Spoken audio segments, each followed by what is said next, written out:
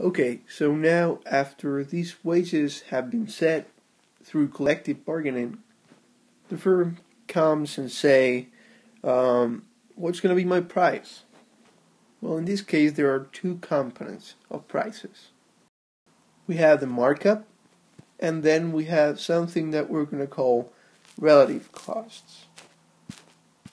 Now, imagine that firms only use labor to produce output. This will be the production function.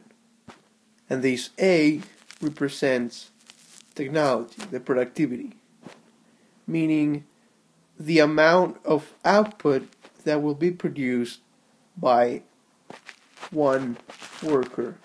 So when firms make a decision about hiring a new worker, they not only look at the nominal cost of paying him, which is just his wage, but they also look at how many units of output this worker is going to produce.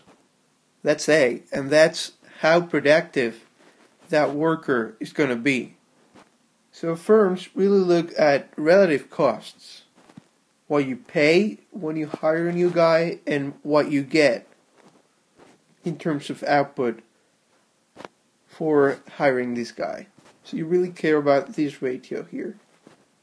Firms do a cost benefit analysis. So now that firms know how much they gotta pay in respect of how much they get when hiring a new worker, when the relative costs are given, they need to set a price.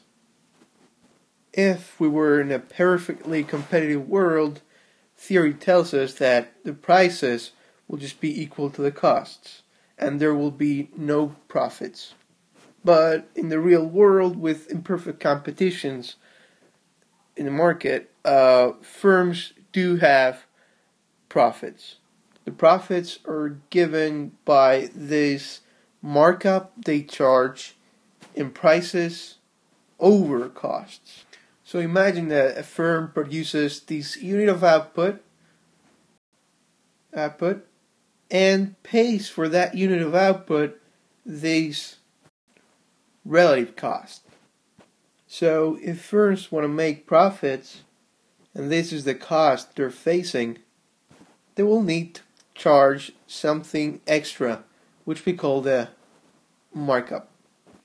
So this something extra they're charging could be, for example, 20%, and that's how much they charge extra to the consumer in order to have profits.